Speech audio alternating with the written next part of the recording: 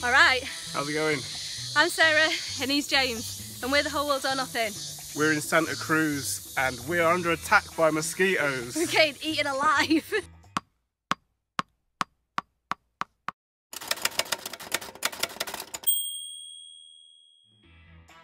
We've just arrived in Santa Cruz and this is our room. So far so normal. There's Sarah. We've destroyed it as per in about five seconds. Don't watch that. But anyway, get into the bathroom. What the hell is this? Check it. That is the shower. This is what can only be described as a toilet screen. Have you ever seen that before? I don't mean to go on about this, but that is backwards, right? that is the shower, that is the screen, and that is the toilet.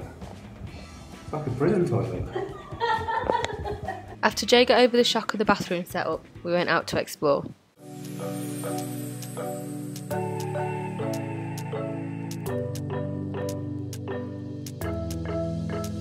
We got everything we need right here.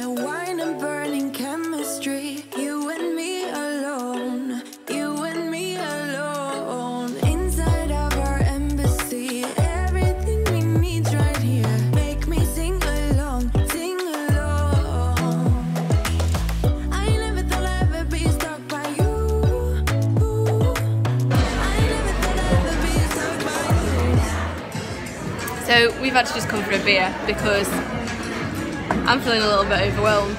Like it's really, really hot in Santa Cruz for, for one thing. And then second of all, it's completely different to anywhere else that we've been in Bolivia. Like there's Burger Kings, um, Starbucks, like it's really, really got a lot of capitalism going on. Yeah, it's very different here. It's also bloody massive, so you need to take cabs or buses to get to places. So there's a huge Japanese community here in Santa Cruz and apparently some really good Japanese food that goes with it. So we've just come to a restaurant called Restaurant Ken, took a taxi ride out to it and we're going to see how it is.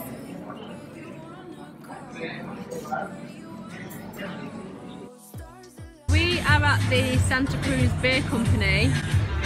What do you think? It's amazing. Massive, isn't it? It's huge, yeah, yeah. But it's not what I expected at all. I thought we were coming to a pub and then it's like a magical garden. It's incredible.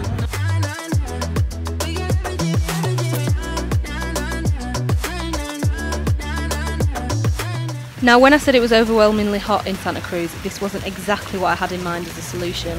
When the rain finally stopped, a day later, we took a bus out to explore the botanical gardens where we were hoping to see some sloths. And it didn't quite go to plan. Yeah, this is a no-go. So I don't know if it's normally this bad or if it's just because it rained so much yesterday. But in the botanical gardens in Santa Cruz, there are thousands and thousands upon thousands of mosquitoes. They're just following us, swarming all around us. We've got loads of repellent on, but we're still getting bitten. Like, I think I've got bitten on my eyelid. Um, yeah, it's horrible.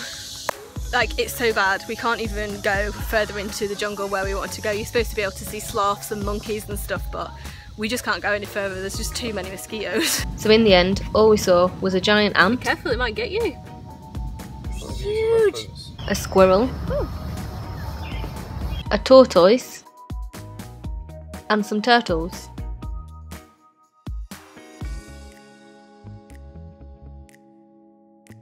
So guys, look at my eyeball. It's pretty bad, right?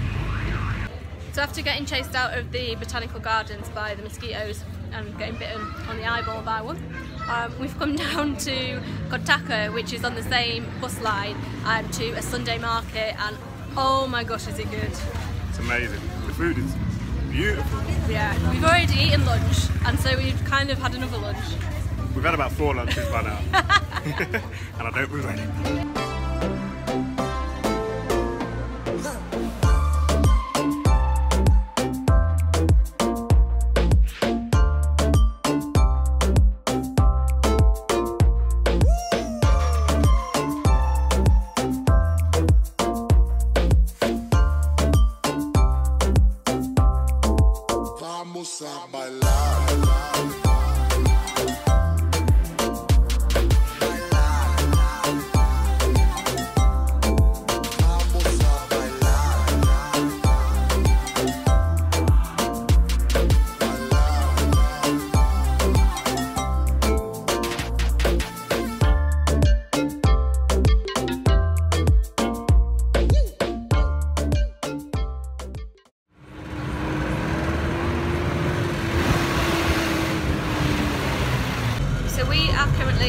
Way out of the city to some sand dunes called what are they called?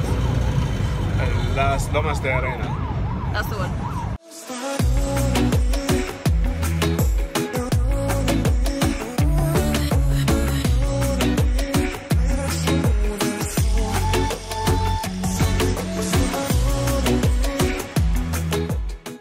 After a bit of faffing about, we finally found the entrance to the trail, which we are on now. It's well, we couldn't find it, could we? um, it's seven kilometres out to the sand dunes and the lagoon, and apparently we've got to cross a river which we have to take our shoes off for. So hopefully it's not going to be too deep.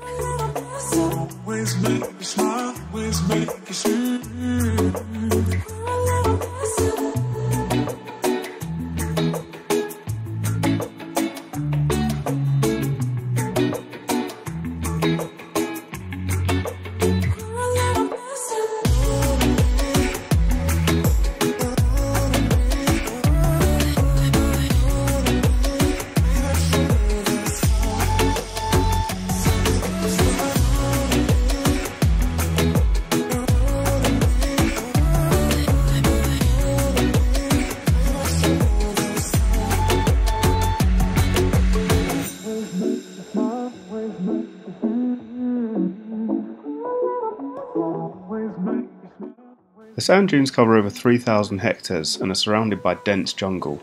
What's even more incredible is that these two ecosystems collide just 25 kilometres from the huge metropolis of Santa Cruz City. It's also possible to sandboard here too, but if you don't have your own board, you'll need to come with a tour company who will also bring you out in a jeep. There's absolutely nothing out here, so you will need to bring your own drinks and snacks. These fruits are called achachairu, and they're only found in this part of Bolivia, and they're a really good shout. We're alright.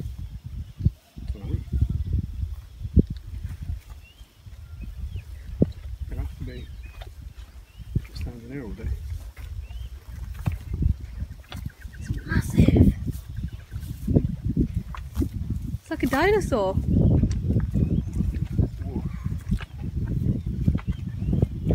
Thankfully, we made it back in time to enjoy a couple of beers. There are so many good bars in Santa Cruz de la Sierra. Just two hours of your time. So, we were talking to these uh, people at breakfast in the morning, and they said they would recommend going to this little village called Porongo. Go to Porongo, they said. It's beautiful, they said. Lovely place. We couldn't Jump on a bus.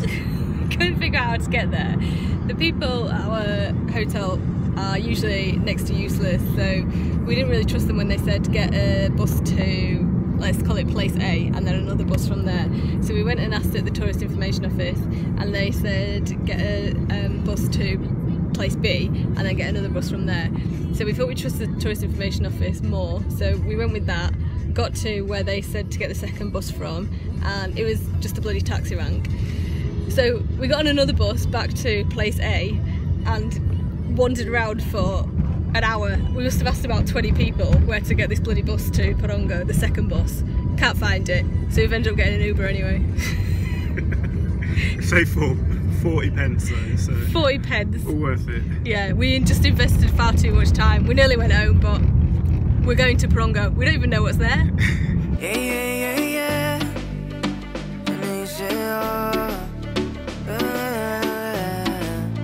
We finally arrived in Porongo after way longer than it should have taken, and the Uber price being three times more than quoted. We definitely didn't save 40p in the end.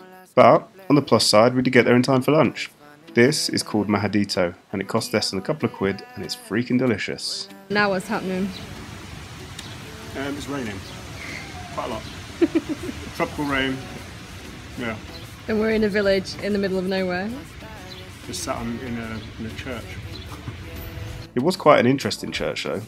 Dating back to 1716, it's said to be one of the last Jesuit mission constructions in Bolivia and is famous for its intricately carved wooden detailing. The rest of the single story wooden frame buildings that line the plaza are also beautiful and constructed in a completely different style to what you're likely to encounter in the rest of Bolivia.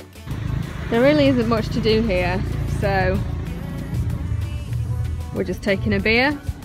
Found one that we haven't had before. Um, yeah, it's actually is it illegal or is it frowned upon? Um, no, it's illegal to drink in public spaces. Okay, but you know, I don't think there's any popo here, is there? We did manage to take a trufi back from Porongo, which is what we meant to take there in the first place, one of the like little minibuses, the shared taxis, um, and it dropped us off very, very, very close to the place where we got the private taxi from. Um, it cost 70 pence, which was a lot different to the seven quid that we paid for the taxi. However, the good thing is for you that because we did all the legwork, um, we will put all the details in the blog post in the description below so that if you want to go to Porongo when you come to Santa Cruz, you can so very easily or easier than we did. You blow my reputation. But not on me. Yeah, yeah, yeah. The way you're making me your hands on myself, I keep pulling the trigger. This finger for people like. Right now, we are apparently supposed to be in the dead centre of South America, according to Bolivia anyway, because there's a few other places in Brazil and in Paraguay, I think, as well, that lay claim to the same thing. Guys, despite our initial impressions of Santa Cruz and at first feeling pretty overwhelmed by the big city vibes, we ended up loving it and even extended our stay by a few more days. There's so much to do once you start scratching the surface, and despite what people outside of Santa Cruz will tell you, a hell of a lot of culture. So if you fancy seeing a different side to Bolivia, get Santa Cruz de la Sierra on your itinerary.